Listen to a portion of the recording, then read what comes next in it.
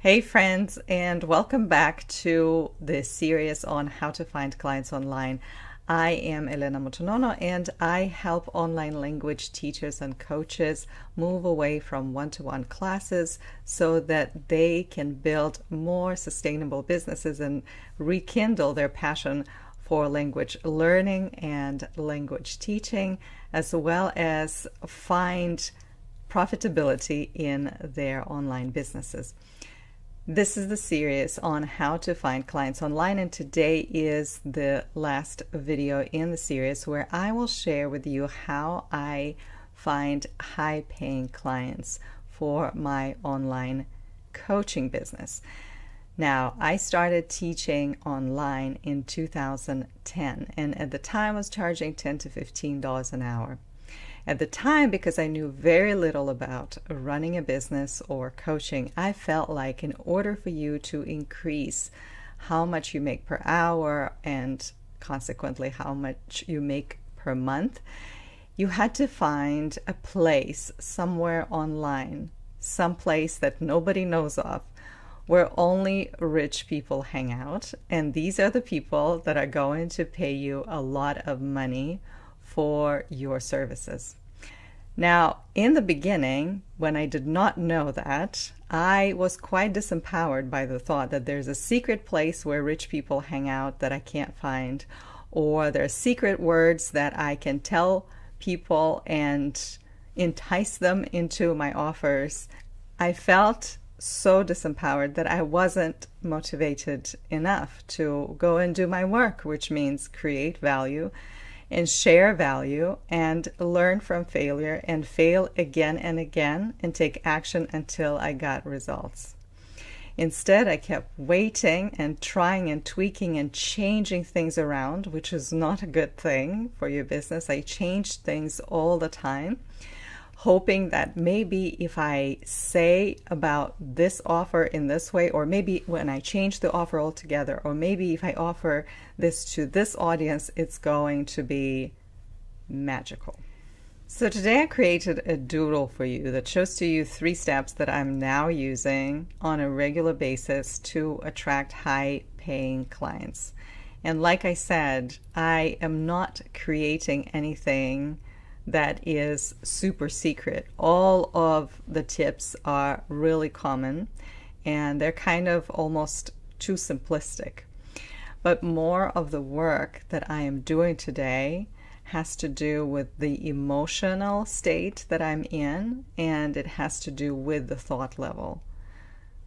The moment I moved away from disempowering to empowering thoughts, I started seeing results in how many people I worked with, whether one on one, in private coaching, or in group coaching programs, or in my community.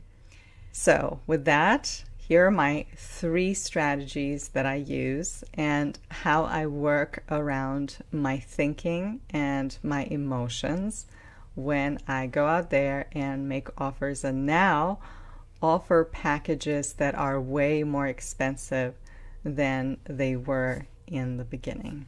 And each of these strategies is represented here as a gift box because what I want, what I get out of each of these steps is a lot of learning and growing.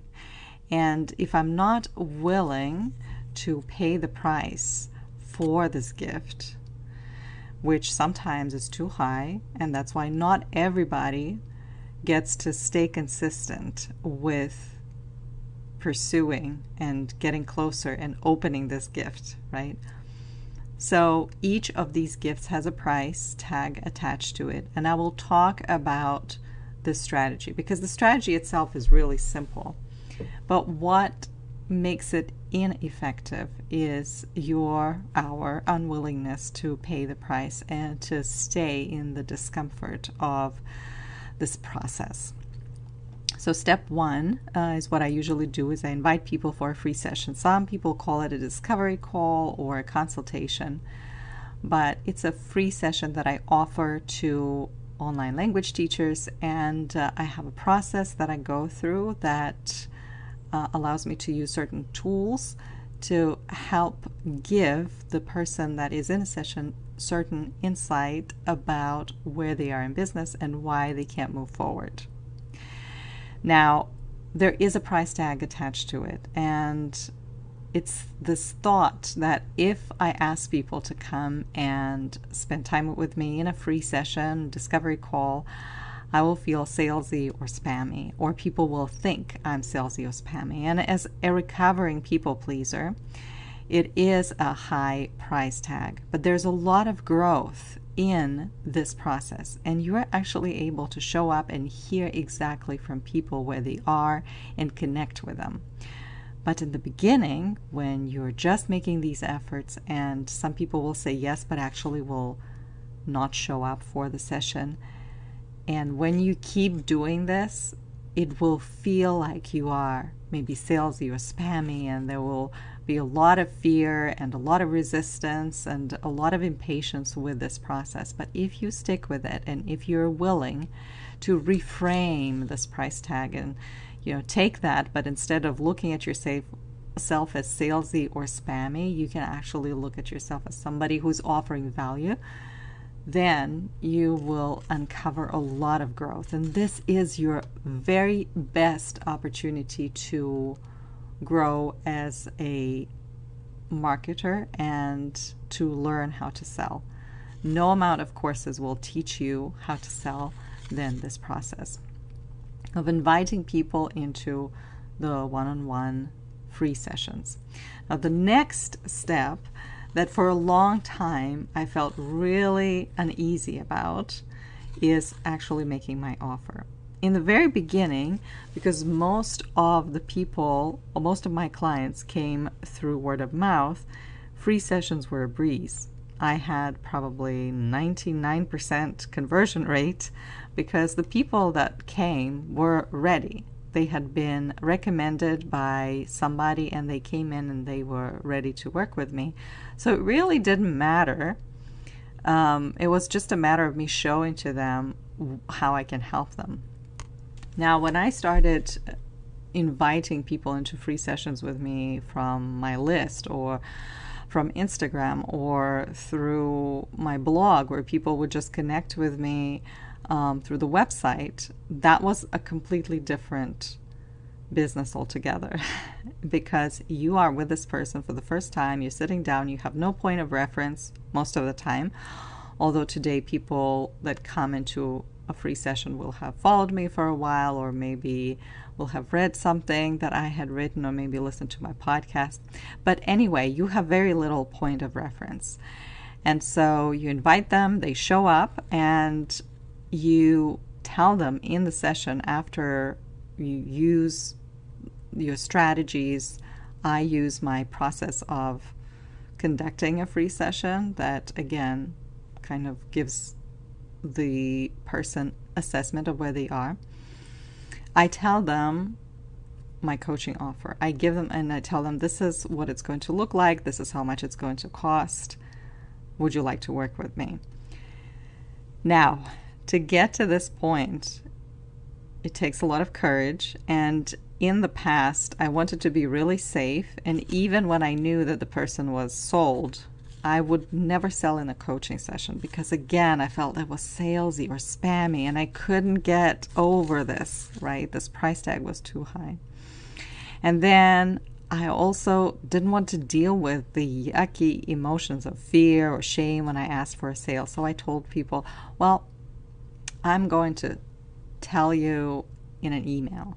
Like, let me follow up with an email and I will send you my catalog and my prices. And maybe in the beginning it was good, but over time, I think the great learning is happening when you are there one on one, you're looking people in the face and you tell them, Would you like to work with me? And you're dealing with your fear and you're dealing with your shame. And especially when you go back and watch the recording of the session, there is a lot of learning there.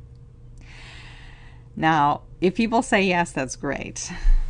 But in the beginning, a lot of people will say no, and you will hear no over and over and over again. And the price tag here to unwrap this and to see it as a gift is detaching your worth from the outcome and deciding that you, the fact that people rejected your offer does not mean that they rejected you.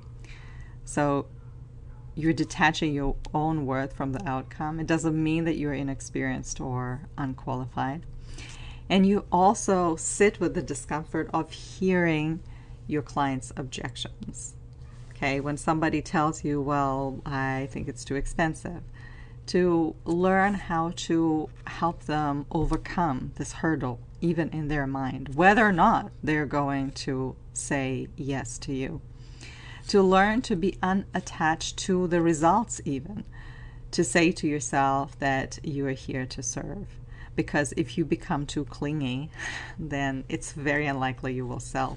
So there is a lot of learning here as well, and there's a high price tag. And once you go through the cycle and you hear no over and over and over and over again, 20 times, 30 times, however long it takes, going back into your free session and changing your attitude instead of going in and saying, oh, they will say no, or they will say, I'm salesy or spammy. Actually, not to think what the person is about to say or to think, not to try to please them, but to show up willing and hopeful. That is when you take do take two and actually go back in here. But not everybody goes back. And that's why very few people actually learn from this process.